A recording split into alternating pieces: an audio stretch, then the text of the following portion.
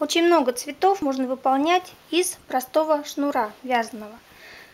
Средний шнур вяжется на трех иглах. Набираем удобным способом 3 петли и вяжем на, среднем, на средней плотности, чтобы не было сильно стянуто, но в то же время не очень жидкое вязание было.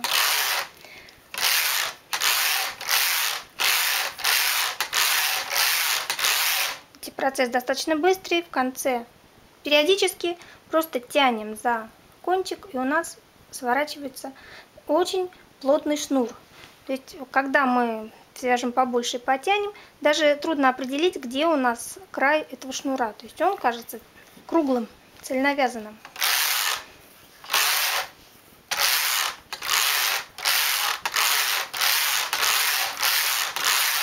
На машине такое вязать одно удовольствие. Вяжется очень быстро. Причем потянули, видите, шнур приобретает совершенно круглый законченный вид. Это средний шнур. Если мы хотим шнур тоненький, берется две иголочки и выполняется все то же самое. Получается очень тонкий, очень аккуратный шнур. И смотрите, какой длины шнур вам нужен. То есть вы провязали какое-то количество рядов и потянули. Шнур, после того, как вы его потянули, обратно уже не деформируется никогда. То есть это будет его естественная длина.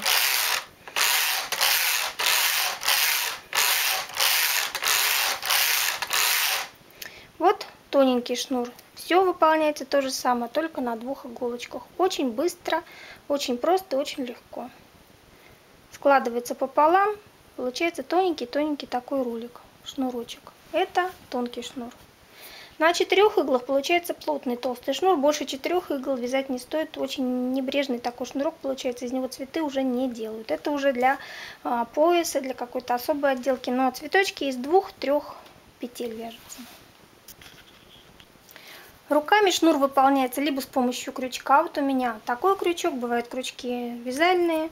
Любой крючок берете и начинаете вывязывать шнурок. Это тоненький шнур. Обычный тонкий шнур, когда вы продеваете петлю в петлю и достаточно быстро вывязываете тоненький шнур, из которого можно делать уже что угодно. Можно делать цветочки, можно делать завязочки, все что угодно.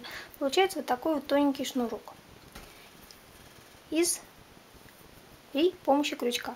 Можно вязать спицами, когда мы берем 3 петли и вяжем длинную-длинную полосу на трех петельках. Лицо, изнанка, лицо, изнанка.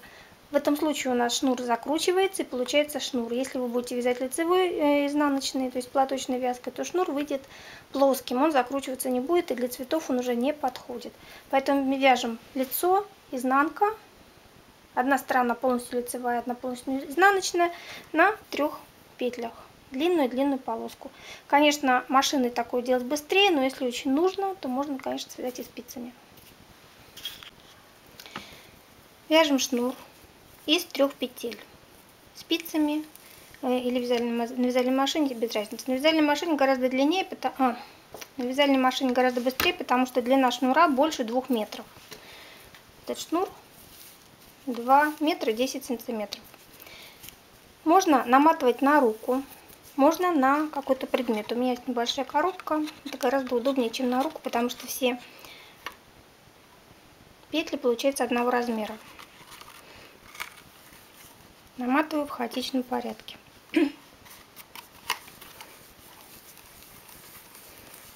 Все эти два метра.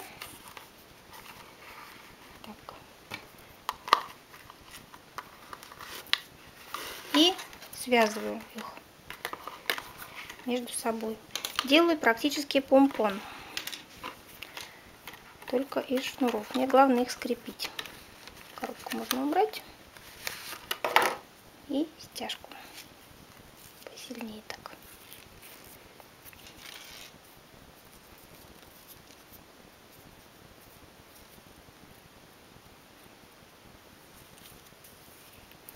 Вот, и теперь остаются. Можно развернуть цветок в таком виде. То есть разложить все лепестки, все вот эти петельки в разные стороны. Но видите, не должна быть, коробка не должна быть очень большой, иначе э, лепестки получаются большие, слишком длинные. А можно сделать проще. Здесь вот в самом низу делать не просто помпон, а помпон кисточку. Так вот связать основание.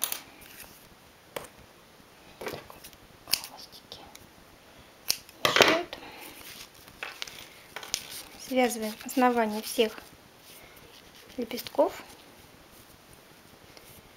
И после этого можно уже раскладывать их как угодно. Они скреплены в центре.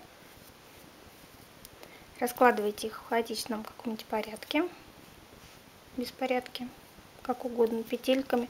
Можно оставить такие вот интересные петли, можно в середину ставить пуговку.